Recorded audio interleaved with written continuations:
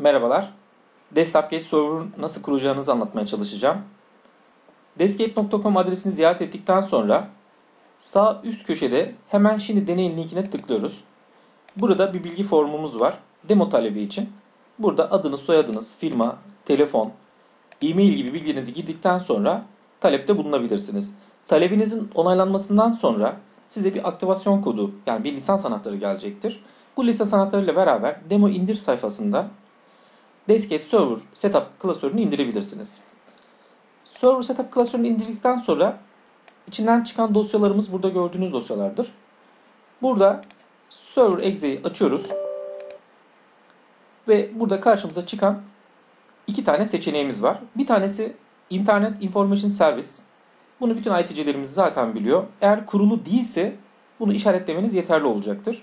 Yine aynı şekilde SQL 2014'e ihtiyacımız var. Eğer SQL'imiz de yoksa yine bunu işaretlemeniz yeterli olacaktır.